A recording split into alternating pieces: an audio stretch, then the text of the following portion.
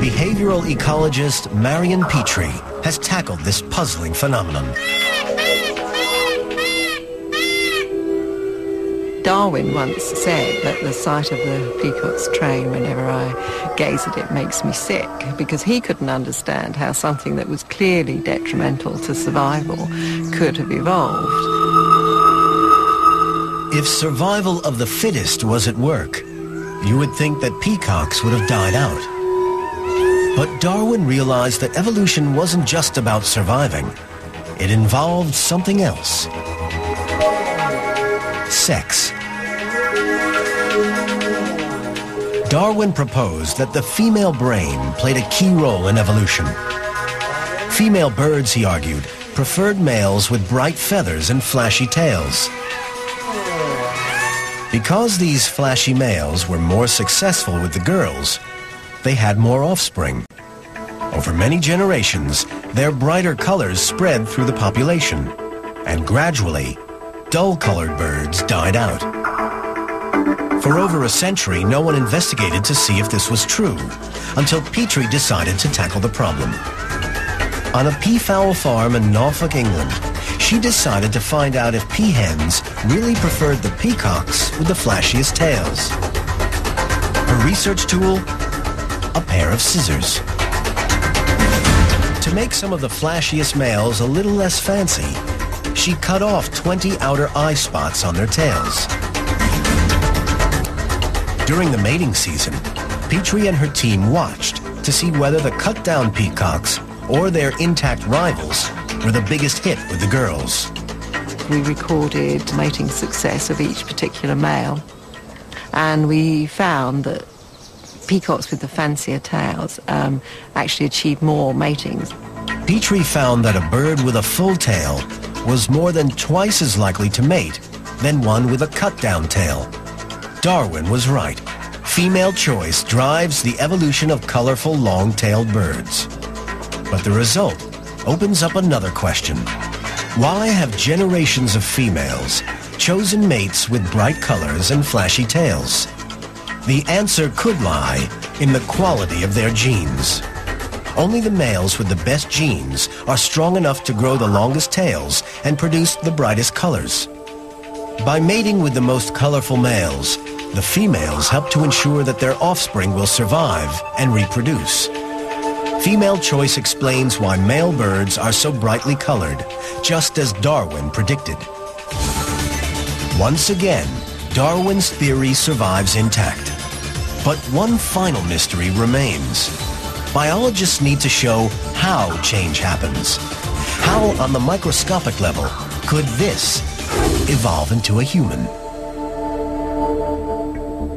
From all the evidence we've seen so far, it seems that Darwin was right. Life evolved. Over millions of years, nature transformed simple living things into modern plants and animals. Back in the 19th century, Darwin didn't have the tools to explain how. But today, at last, we can.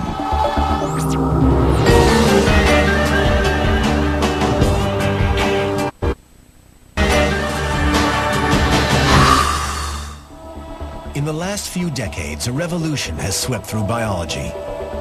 Researchers now have the tools to unravel the greatest riddle of all, how one species turns into another. The first clue came in 1953 with the discovery of the structure of DNA. DNA carries the genetic instructions for building life. It's passed down from one generation to the next. Unravel its coiled double helix structure and you find stretches of code called genes. We have around 22,000 genes in our DNA. They carry the information that determines eye color, height, and just about everything that makes us, us. It's the genes that tell an embryo what to become. One set of genes will produce a fish.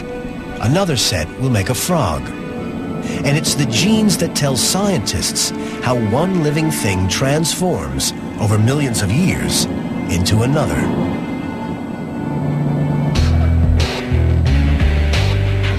At the University of California in Berkeley, Professor Mike Levine and grad student Brad Davidson have discovered that changing just one gene can make a huge leap in body design.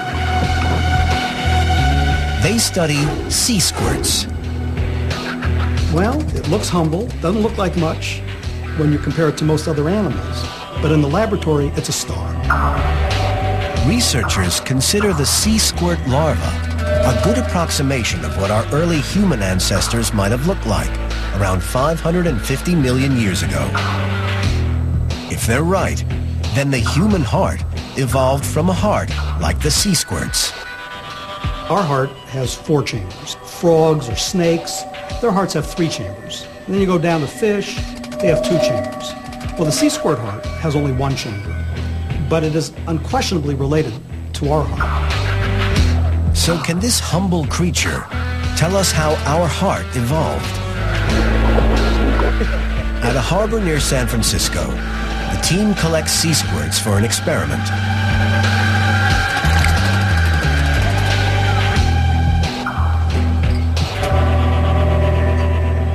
Back in the laboratory, Davidson extracts and fertilizes their eggs. He then zaps them with an electric current to insert a loop of DNA into the developing embryo. The operation is equivalent to changing the activity of one gene in the squirt's DNA, but it has a remarkable effect. Under the laser microscope, Levine and Davidson watch the cells that will form the one-chambered heart. An extraordinary transformation takes place.